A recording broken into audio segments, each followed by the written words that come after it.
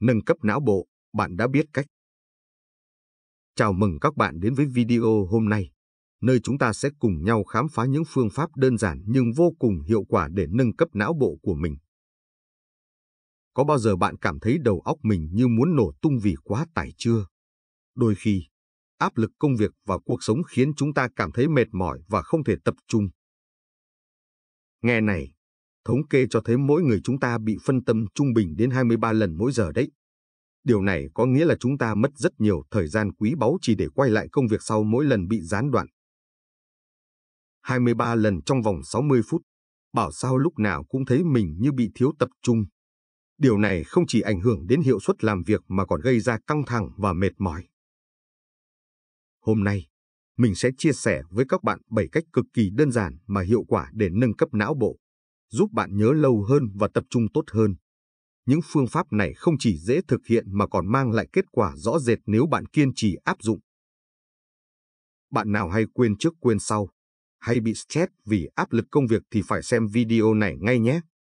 Những mẹo nhỏ này sẽ giúp bạn cải thiện trí nhớ và giảm bớt căng thẳng trong cuộc sống hàng ngày.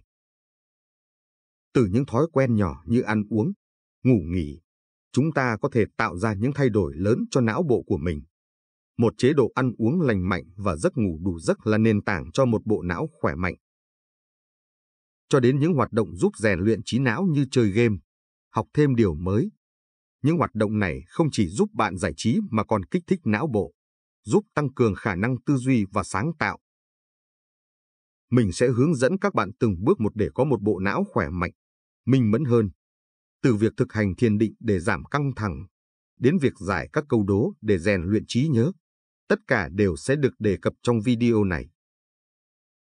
Bắt đầu ngay thôi nào. Hãy cùng nhau khám phá và áp dụng những phương pháp này để nâng cấp não bộ, giúp bạn trở nên thông minh và sáng suốt hơn trong mọi tình huống. Thăng thăng thăng một. Thiền định, chìa khóa cho một tâm trí tĩnh lặng. Chắc hẳn bạn đã từng nghe đến phương pháp thiền định rồi nhỉ? Thiền định, một phương pháp cổ xưa, đã được thực hành qua nhiều thế kỷ bởi các nền văn hóa khác nhau trên khắp thế giới. Nó không chỉ là một cách để thư giãn mà còn là một công cụ mạnh mẽ để cải thiện sức khỏe tinh thần và thể chất. Nghe có vẻ khó khăn nhưng thực chất rất đơn giản. Bạn không cần phải là một chuyên gia hay có kinh nghiệm trước đó để bắt đầu. Chỉ cần một chút kiên nhẫn và sự cam kết, bạn sẽ thấy thiền định trở thành một phần không thể thiếu trong cuộc sống hàng ngày của mình.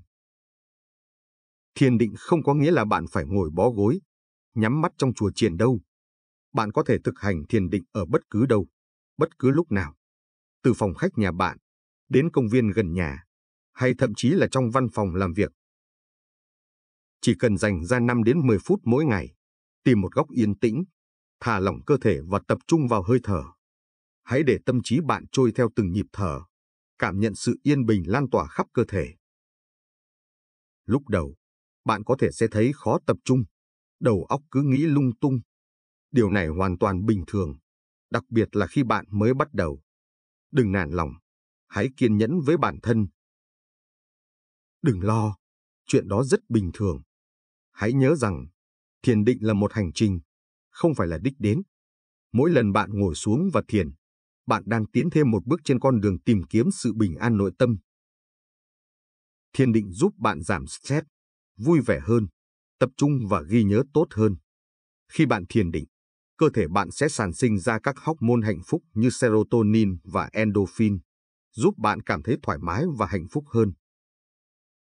Các nhà khoa học đã chứng minh, thiền định thường xuyên giúp tăng mật độ chất xám ở não bộ, đặc biệt là ở vùng hippocampus, vùng não liên quan đến trí nhớ và học tập.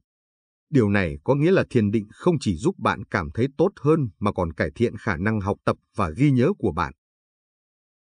Bạn có thể thử các ứng dụng hỗ trợ thiền định như Headspace, Calm, hoặc tìm trên YouTube các video hướng dẫn thiền định cho người mới bắt đầu. Những ứng dụng và video này cung cấp các bài hướng dẫn chi tiết, giúp bạn dễ dàng bắt đầu và duy trì thói quen thiền định. Hãy thử áp dụng và cảm nhận sự thay đổi tích cực mà thiền định mang lại cho bạn nhé. Bạn sẽ thấy mình trở nên bình tĩnh hơn, ít căng thẳng hơn và có khả năng đối phó với các tình huống khó khăn một cách hiệu quả hơn. Nhớ là chỉ cần 5 đến 10 phút mỗi ngày thôi. Kiên trì trong vòng một tháng. Bạn sẽ thấy bất ngờ về sự tiến bộ của bản thân đấy. Hãy ghi lại những cảm nhận và tiến bộ của bạn trong một cuốn nhật ký, để bạn có thể nhìn lại và thấy được sự thay đổi tích cực mà thiền định mang lại. Thăng thăng thăng 2. Vận động cơ thể, nạp năng lượng cho não bộ. Nhiều bạn nghĩ rằng tập thể dục chỉ để khỏe mạnh về thể chất, nhưng thực tế không phải vậy đâu. Vận động thể chất giống như liều thuốc bổ tự nhiên, giúp não bộ hoạt động hiệu quả hơn rất nhiều. Khi vận động, cơ thể sản sinh ra endorphin, một loại hormone giúp giảm đau, tạo cảm giác hưng phấn, sảng khoái.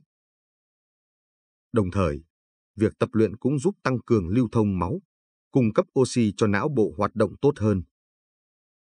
Bạn không cần phải tập luyện quá sức, chỉ cần dành ra 30 phút mỗi ngày để đi bộ, chạy bộ, đạp xe, bơi lội.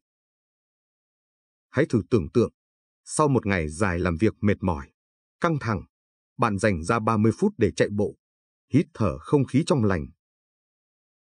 Vậy nên, đừng ngồi ì một chỗ nữa, hãy đứng dậy và vận động ngay thôi. Thăng thăng thăng ba. Chế độ ăn uống, nhiên liệu cho não bộ khỏe mạnh. Có một câu nói rất hay, you are what you eat, bạn là những gì bạn ăn. Câu nói này không chỉ đúng với cơ thể mà còn đặc biệt đúng với não bộ của chúng ta.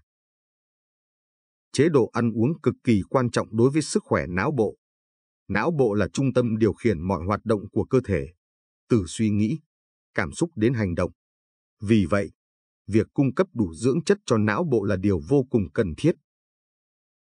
Hãy tưởng tượng não bộ của chúng ta là một chiếc siêu xe. Vậy thì chế độ ăn uống chính là nhiên liệu. Một chiếc siêu xe cần nhiên liệu chất lượng cao để hoạt động tốt nhất, và não bộ của chúng ta cũng vậy. Nếu chúng ta nạp vào những nhiên liệu kém chất lượng, chiếc xe sẽ chạy ì ạch, kém hiệu quả. Tương tự, nếu chúng ta ăn những thực phẩm không lành mạnh, não bộ sẽ không thể hoạt động tối ưu, dẫn đến mệt mỏi, thiếu tập trung và giảm trí nhớ. Ngược lại, nếu được cung cấp đầy đủ nhiên liệu chất lượng cao, chiếc xe sẽ chạy mạnh mẽ, bền bỉ. Khi chúng ta ăn những thực phẩm giàu dinh dưỡng, não bộ sẽ được cung cấp đủ năng lượng để hoạt động hiệu quả, giúp chúng ta cảm thấy tỉnh táo, tập trung và sáng tạo hơn. Vậy đâu là những nhiên liệu tốt cho não bộ? Những thực phẩm nào sẽ giúp não bộ của chúng ta hoạt động tốt nhất? Đó chính là những thực phẩm giàu omega 3 như cá hồi, quả óc chó, hạt chia, các loại rau củ quả tươi, đặc biệt là những loại quả mọng như việt quất, dâu tây, mâm xôi, các loại ngũ cốc nguyên hạt, yến mạch. Omega 3 là một loại axit béo không bão hòa, có vai trò quan trọng trong việc bảo vệ và phát triển não bộ. Các loại quả mọng chứa nhiều chất chống oxy hóa, giúp bảo vệ tế bào não khỏi sự tổn thương. Ngũ cốc nguyên hạt cung cấp năng lượng ổn định cho não bộ, giúp duy trì sự tập trung và tỉnh táo. Hãy hạn chế những thực phẩm chế biến sẵn, đồ ăn nhanh, đồ ngọt, nước có ga. Những thực phẩm này chứa nhiều đường, chất béo bão hòa và các chất bảo quản, không chỉ gây hại cho cơ thể mà còn ảnh hưởng xấu đến não bộ. Đường và chất béo bão hòa có thể gây viêm nhiễm, làm giảm khả năng hoạt động của não bộ. Hãy nhớ, ăn uống khoa học không chỉ giúp bạn có một cơ thể khỏe mạnh mà còn giúp nâng cao sức khỏe não bộ, cải thiện trí nhớ và sự tập trung. Một chế độ ăn uống lành mạnh, cân bằng sẽ giúp bạn duy trì năng lượng, tăng cường khả năng học tập và làm việc, đồng thời giảm nguy cơ mắc các bệnh lý liên quan đến não bộ như Alzheimer và Parkinson. Vì vậy, hãy bắt đầu chăm sóc não bộ của bạn ngay từ hôm nay bằng cách lựa chọn những thực phẩm tốt cho sức khỏe. Thăng thăng thăng 4. Giấc ngủ, thời gian reset cho não bộ. Giấc ngủ giống như nút reset cho não bộ sau một ngày dài hoạt động mệt mỏi. Khi ngủ, não bộ sẽ xử lý thông tin, củng cố trí nhớ và loại bỏ độc tố. Thiếu ngủ kinh niên sẽ khiến bạn cảm thấy mệt mỏi, uể oải, khó tập trung, giảm khả năng ghi nhớ, suy giảm hệ miễn dịch. Nghiêm trọng hơn, thiếu ngủ kéo dài còn có thể dẫn đến các bệnh nguy hiểm như tim mạch, tiểu đường, đột quỵ. Vậy nên, hãy đảm bảo ngủ đủ 7 đến 8 tiếng mỗi ngày. Hãy tạo cho mình thói quen đi ngủ và thức dậy đúng giờ, kể cả ngày nghỉ. Trước khi đi ngủ, bạn nên hạn chế sử dụng điện thoại, máy tính, TV, Thay vào đó, bạn có thể đọc sách, nghe nhạc nhẹ nhàng hoặc đơn giản là nằm thư giãn, hít thở sâu để dễ ngủ hơn. Hãy nhớ, giấc ngủ ngon chính là liều thuốc bổ tốt nhất cho não bộ. Thăng thăng thăng năm, rèn luyện trí não, gym cho não bộ. Cũng giống như cơ bắp, não bộ cũng cần được rèn luyện thường xuyên để khỏe mạnh và hoạt động hiệu quả hơn.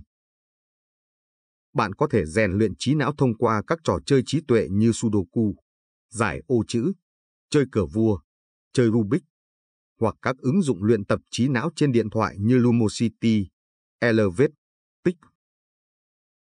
Hãy dành ra ít nhất 30 phút mỗi ngày để rèn luyện trí não. Bạn sẽ thấy bất ngờ về khả năng của bản thân đấy. Thăng thăng thăng 6. Học hỏi kỹ năng mới, mở rộng dung lượng cho não bộ. Học hỏi không bao giờ là muộn, và việc học hỏi những điều mới mẻ chính là cách tuyệt vời để mở rộng dung lượng cho não bộ. Khi học một kỹ năng mới, não bộ sẽ hình thành các kết nối thần kinh mới, giúp bạn ghi nhớ tốt hơn, tư duy và sáng tạo hơn. Đó có thể là học một ngôn ngữ mới, học chơi một loại nhạc cụ, học nấu ăn, học vẽ, học nhảy. Đừng ngại thử thách bản thân với những lĩnh vực mới, vì não bộ càng học hỏi càng phát triển.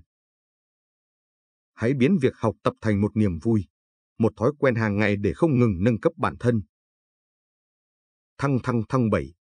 Chánh niệm, bí quyết cho sự tập trung tuyệt đối. Chánh niệm có nghĩa là tập trung hoàn toàn vào hiện tại, nhận thức rõ ràng về suy nghĩ, cảm xúc và cảm giác của bản thân mà không phán xét. Nghe có vẻ phức tạp nhưng thực chất rất đơn giản. Bạn có thể áp dụng chánh niệm trong bất cứ hoạt động nào của cuộc sống hàng ngày, từ việc ăn uống, đi, đứng, nằm, ngồi, làm việc, cho đến giao tiếp với mọi người xung quanh. Ví dụ, khi ăn, bạn hãy tập trung cảm nhận hương vị của món ăn, cảm nhận thức ăn tan dần trong miệng. Khi đi, hãy cảm nhận từng bước chân, cảm nhận mặt đất tiếp xúc với lòng bàn chân. Hãy thử áp dụng chánh niệm vào cuộc sống hàng ngày. Bạn sẽ cảm nhận được sự thay đổi tích cực mà nó mang lại. Thăng thăng thăng nâng cấp não bộ, nâng tầm cuộc sống. Vừa rồi, mình đã chia sẻ với các bạn 7 cách đơn giản mà hiệu quả để nâng cấp não bộ, cải thiện trí nhớ và tăng cường sự tập trung.